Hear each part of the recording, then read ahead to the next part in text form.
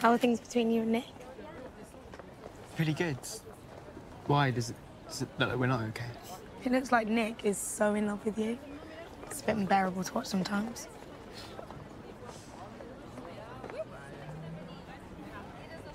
I suppose I'm sort of jealous of you and Darcy. You're out and you can hold hands and kiss and... I really want that.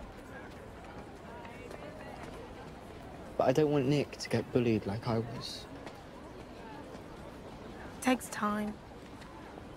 It took ages for me to even feel comfortable calling myself a lesbian. And, and we were so scared of what people might say at school, so we didn't tell anyone about us for months. But eventually, we stopped caring about all those people. We just realised. You're gonna be great. And even if you're not great, I'll still think you're great because I always think you're great. And I'll clap really loud even if you fall over and mess up the entire thing. Me and her were all that mattered. You and Nick will get to that point. I know you will. I'm jealous of you and Nick in some ways too. What? Why? You both talk about your feelings. Darcy just makes everything into a joke. It's hard to get to open up.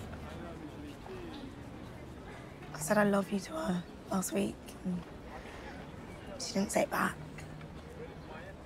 So, like, maybe she didn't even want to. I'm sure she does want to. And Paris is the perfect place to have that conversation.